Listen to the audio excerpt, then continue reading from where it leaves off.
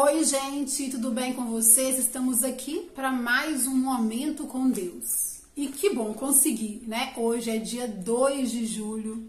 Quero agradecer a vocês que participaram do momento de ontem. Tô retornando aí aos poucos, tô conseguindo. Então é aquela coisa, né, gente? Um passo de cada vez. E é isso. Como eu disse ontem, para quem assistiu, quem não assistiu, tem uma playlist, tá? Momento com Deus, com todos os momentos que já tiveram aqui no canal, tem bastante. Eu tô retomando aqui aos poucos, pela graça de Deus, tô conseguindo hoje fazer. Tô aqui falando com vocês, tô fazendo, tá? Já esse quadro já chamou Manhã com Deus, ia ser tarde, noite, madrugada. Por fim, eu falei assim, gente, não importa se é manhã, se é tarde, se é noite, o importante é você fazer. Já vai uma dica aqui, tá? E é isso é o momento. O momento que você viu, ele olha, esse momento aqui, eu vou tirar esse momento com Deus. Que a gente às vezes estipula as coisas, né? Ah, vai ser de manhã. Eu já, eu já passei por isso aqui no canal. Ah, vai ser 6 horas da manhã, vai ser 5 e meia, vai ser 8 horas. E, e as coisas vão acontecendo e a gente acaba é, não realizando aquilo que a gente tinha colocado, o projeto proposto no nosso coração e a gente fica desanimado, fica triste e deixa para lá. Não pode deixar para lá. Então, já uma dica para você. Tira um momento com Deus. Isso que eu faço aqui com vocês me ajuda muito, porque às vezes no, no corre-corre do dia a dia, a gente, né, ah, eu vou orar, eu vou ler, eu vou não sei. Quando você vê, já passou um dia, uma semana, um mês e você não pegou na Bíblia Sagrada, você não cantou nenhum louvor a Deus. E é isso, a gente precisa em casa ter esses momentos também. Você, ah, domingo você vai na igreja? Ah, você vai na igreja, você vai na escola dominical, você vai no culto à noite, mas nós precisamos tirar um momento com Deus. Aqui eu tô com vocês, né, gente? Mas fora esse momento que eu tô aqui com vocês, já é um momento que eu tô tirando e incentivando vocês, você em casa também tirar um momento para você tá ali falando com Deus e, e, criando essa intimidade com Ele, que isso é muito importante para nossas vidas. Nós cremos no Senhor Jesus e sabemos que precisamos dele muito. Eu vou é, meditar com vocês porque é, qualquer momento sem a palavra de Deus é estranho, porque a palavra de Deus é a nossa bússola, através, é nela, é por ela que nós vamos nos instruindo. Então, se você tira um momento, você pode louvar, você pode orar, mas você precisa ler também a palavra de Deus, meditar no que Deus tem falado ao nosso coração. E eu vou meditar com vocês em Salmos número 55, o verso 16 e 17, que fala assim: olha, mas eu invocarei a Deus e o Senhor me salvará. De tarde e de manhã e ao meio-dia orarei e clamarei e ele ouvirá a minha voz. Então, caiu direitinho com isso que eu falei aqui agora. Então, o momento é esse, gente. A palavra de Deus, a gente tem que buscar a Deus a tempo e fora de tempo. Não esperar vir os momentos de luta, de luto, de dor, de tribulação. Infelizmente, nós somos seres humanos, falhamos e às vezes a gente se vê nisso. Quando a vida tá tudo bem, você tá bem empregado, tá ganhando bem, abre a geladeira, tá cheia, abre o armário de compras, tá cheio, todas as contas quitadas, todo mundo com saúde, nós tendemos a esquecer um pouquinho de Deus. Me fala isso é mentira. Quando o barco começa a balançar, quando o mar começa ali a ficar meio alvoroçado e começa a vir os ventos, quando há uma tempestade, a gente rapidinho lembra de Deus. E aí começa sacode daqui, sacode de lá, nós fazemos igual os discípulos. Jesus deitado lá, descansando no barco, como gritar, mestre, mestre, acorda!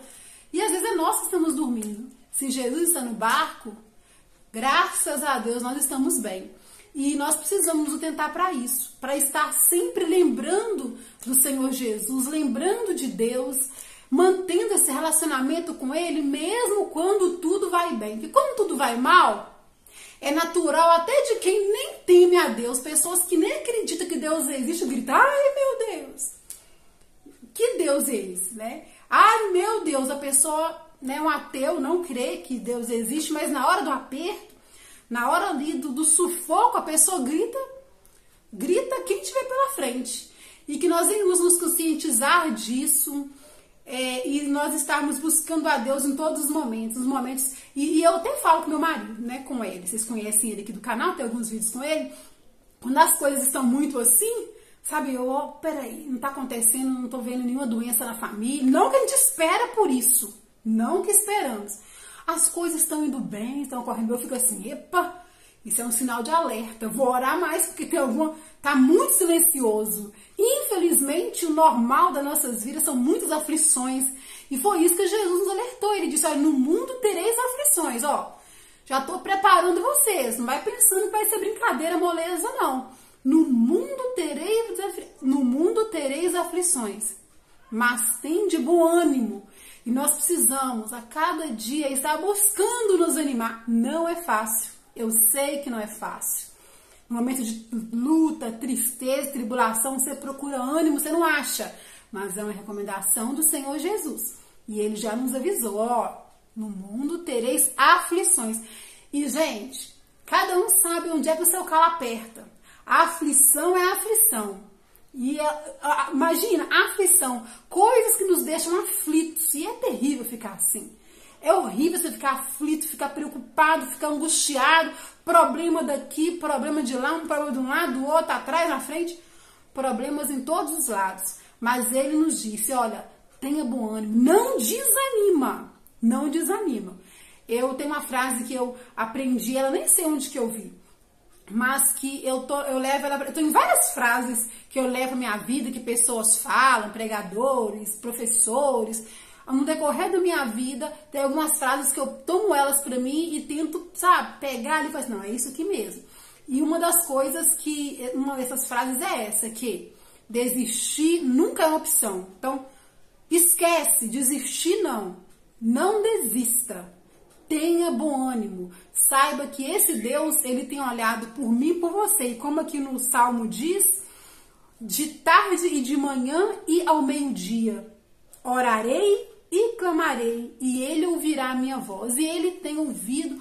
A palavra de Deus diz que as mãos do Senhor não estão encolhidas para que não possa nos abençoar. Os seus ouvidos não estão agravados para que não, não possa ouvir.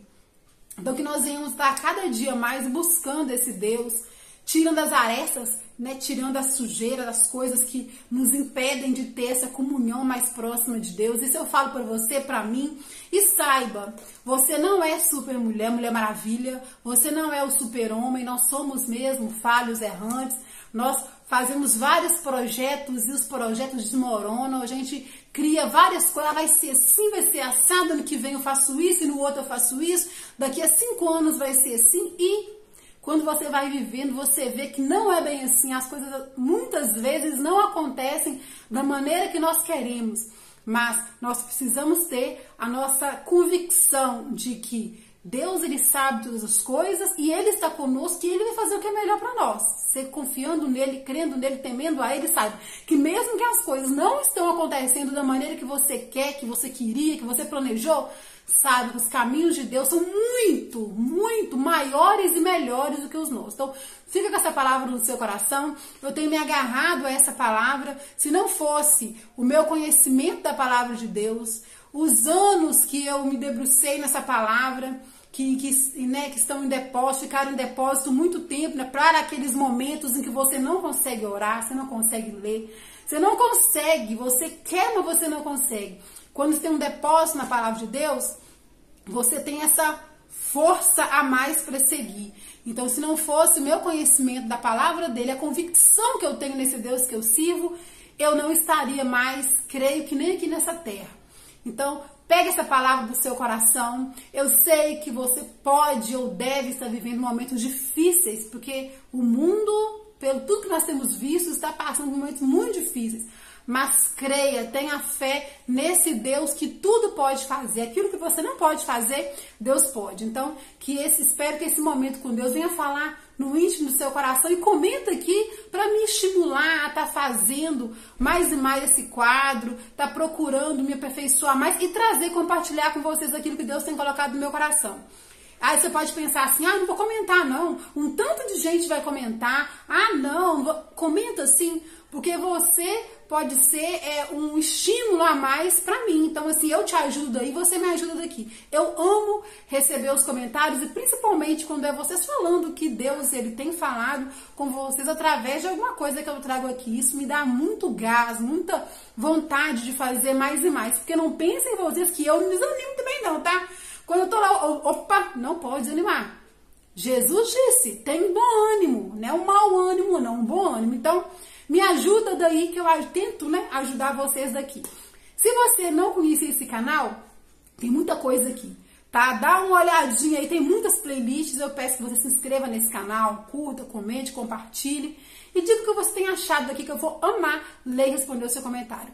Até o próximo vídeo. Se Deus quiser, nós teremos aí o dia 3 de julho, que é amanhã, para vivermos, para termos mais momentos com Deus e tentarmos produzir mais aí, tanto aqui na terra, como também para com as coisas dos céus. Um beijão e tchau, tchau.